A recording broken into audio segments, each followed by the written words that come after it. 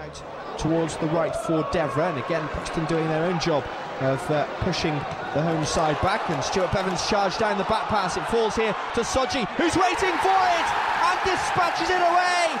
Stuart Beavon forced the error from the keeper. It fell. Days at Prenton Park. Here's Beavon now though, turning and heading towards goal with the outside of his right boot. He plays in Laird. Now back to the penalty area, and it's Nicky Wroe this time who makes it two.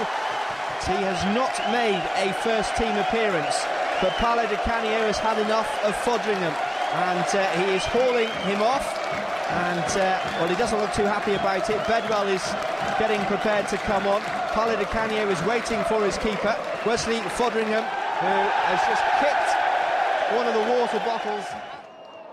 Davies, Kevin Davies, and it's been put in by Iain Hume.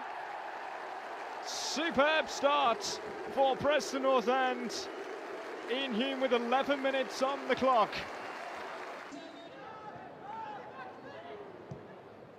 Sent in from Laird.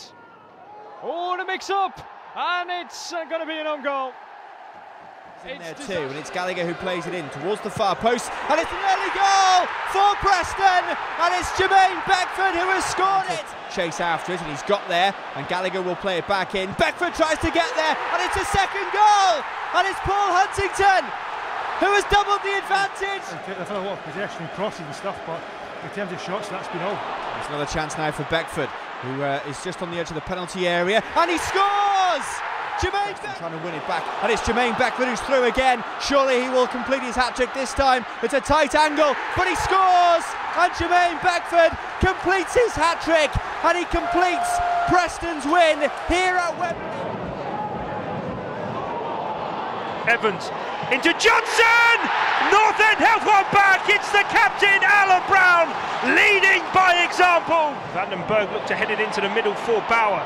Now it rolls for Alan Browne. Browne's going to carry the fight. Browne up to the edge of the box, rolls it right for Evans. Evans across goal!